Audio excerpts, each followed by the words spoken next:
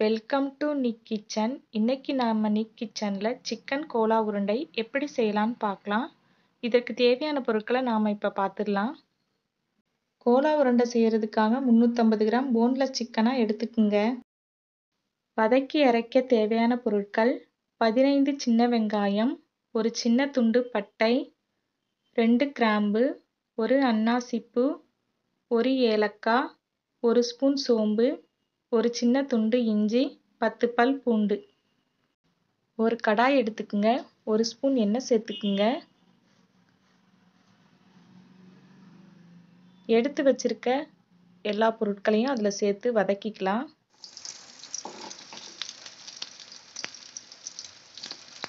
இதை நீங்கள் ரொம்ப வதக்கணும்னு அவசியம் இல்லை. பச்சை வாசனை போகிற வரைக்கும் கொஞ்சமாக வதக்கிக்கிட்டாலே போதும். இது கூட நாலு பச்சை மிளகாவையும் சேர்த்துக்குங்க.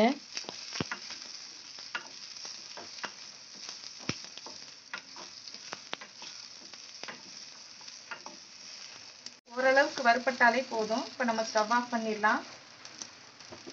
சிக்கனை கழுவி தண்ணியை நல்லா ட்ரை பண்ணி எடுத்துருங்க. இந்த மாதிரி சின்ன சின்ன பீஸாக கட் பண்ணி எடுத்துக்குங்க. இதை மிக்சியில் போட்டு அரைச்சி எடுத்துக்கலாம். வதக்கி வச்சிருக்க மசாலா பொருட்களை மிக்சியில் அரைச்சி எடுத்துக்குங்க. அரைச்சி வச்ச பேஸ்ட்டை ஒரு பவுலுக்கு மாற்றிருங்க அடுத்ததாக சிக்கனையும் மிக்சியில் அரைச்சி எடுத்துக்குங்க. அரைச்சி எடுத்த சிக்கனையும் இந்த பவுலில் மாற்றிருங்க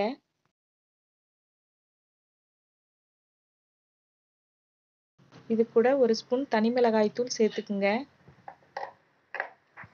இதுக்கு தேவையான அளவு உப்பு சேர்த்துக்குங்க. நாலு ஸ்பூன் பொட்டுக்கடலையை மிக்சியில் நல்லா அரைச்சி எடுத்துக்குங்க. அரைச்சி வச்சிருக்க பொட்டுக்கடலை மாவை சேர்த்துக்குங்க. கொத்தமல்லியை பொடியாக கட் பண்ணி இது கூட சேர்த்துக்குங்க. இப்போ இது எல்லாத்தையும் நல்லா கலந்து விட்டுக்குங்க. வதக்கும் போதே நம்ம இஞ்சி பூண்டு சேர்த்துக்கிட்டதுனால இப்போ சேர்த்துக்க வேண்டாம். இப்போ நல்லா கலந்தாச்சு. இது கூட நான் அரைச்சி வச்சிருக்க ரெண்டு துண்டு பிரெட் க்ரம்ஸை கொஞ்சம் கொஞ்சமாக சேர்த்துக்கிறேன்.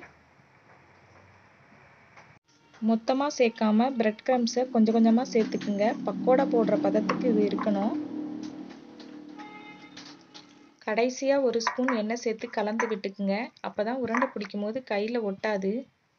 எண்ணெயில் போடுறதுக்கு முன்னாடி இந்த மாதிரி எல்லாத்தையும் உருண்டை பிடிச்சி வச்சுக்கோங்க. எல்லா உருண்டையும் ஒரே அளவில் இருக்கணும். இந்த மாதிரி. உருண்டை பிடிக்கும் போது பக்கத்தில் ஒரு பிளேட்டில் எண்ணெயை வச்சுக்கோங்க. கையில் ஒட்டும் போது அதை தொட்டுக்கிட்டு உருண்டை பிடிங்க. அப்போ தான் ஒட்டாது. இந்த மாதிரி எல்லா உருண்டையும் பிடிச்சி வச்சுக்கோங்க. எண்ணெயில் போடுறதுக்கு முன்னாடி இந்த மாதிரி எல்லா உருண்டையும் ரெடி பண்ணி வச்சுக்கோங்க. ஒரு கடாயில் ஃப்ரை பண்ண தேவையான அளவு எண்ணெய் சேர்த்துக்குங்க. எண்ணெய் நல்லா காஞ்சதும் அடுப்பை லோ ஃப்ளேமில் வச்சுக்கோங்க. எடுத்து வச்சிருக்க கோலா உருண்டையை எண்ணெயில் சேர்த்துருங்க. ஒரு பக்கம் வெந்ததும் மெதுவாக திருப்பி விட்டுக்குங்க.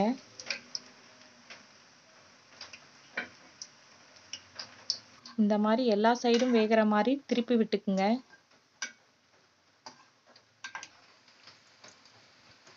நல்லா ப்ரௌன் ஆயிடுச்சு இப்போ நம்ம எடுத்துடலாம்.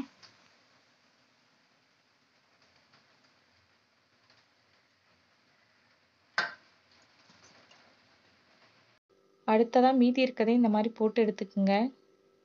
அடுப்பை வந்து லோ இல்லைனா மீடியம் ஃப்ளேமில் வச்சுக்குங்க. இல்லைனா கோலா உருண்டை உள்ளலாம் வேகாது.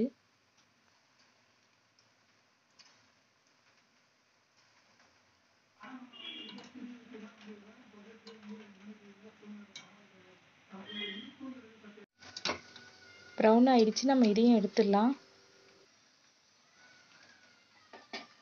இன்னொரு மாடல் உங்களுக்கு செஞ்சு காட்டுறேன். வறுக்காத கார்ன் சிப்ஸை மிக்சியில் நல்லா அரைச்சி எடுத்துக்குங்க. எடுத்து வச்சுருக்க கோலா உருண்டையை அதில் பரட்டி எடுத்துக்குங்க. இது எண்ணெயில் போட்டு எடுக்கும்போது கொஞ்சம் கிறிஸ்பியாக வரும். கான் தூளில் பரட்டி எடுத்த கோலா உருண்டையை இப்போ எண்ணெயில் சேர்த்துருங்க. பாருங்க கோலா உருண்டை எவ்வளோ கிறிஸ்பியாக வந்திருக்கு. கடைசியாக நறுக்கி வச்சிருக்க கொத்தமல்லியை இது கூட சேர்த்துக்குங்க. பாருங்க கோலா உருண்டை எவ்வளோ சூப்பராக வந்திருக்கு. நம்ம வீட்டிலே இதை ரெடி பண்ணியாச்சு.